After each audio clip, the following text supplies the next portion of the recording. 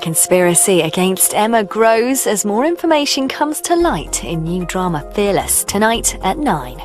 Start your week with Good Morning Britain now, though, on ITV.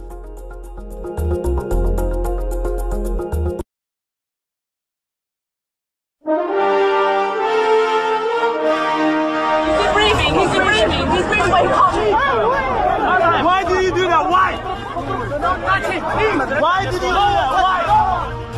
Good morning, Britain. Breaking news this morning. Terror returns to the streets of London. One person has died, ten have been injured after a van deliberately struck pedestrians near a North London mosque. Armed officers on the scene. Video captured the moment a man was pinned down by police. One man has been arrested amid claims it was an anti Muslim attack.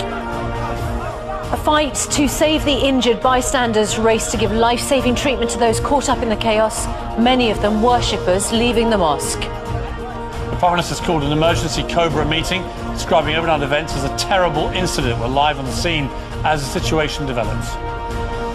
Monday, 19th of June, 2017. Live from ITV Studios in London.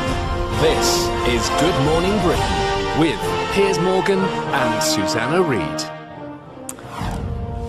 Well, I'm so sorry to bring you more bad news this Monday morning, and this time it seems that worshippers at a mosque in North London have been targeted.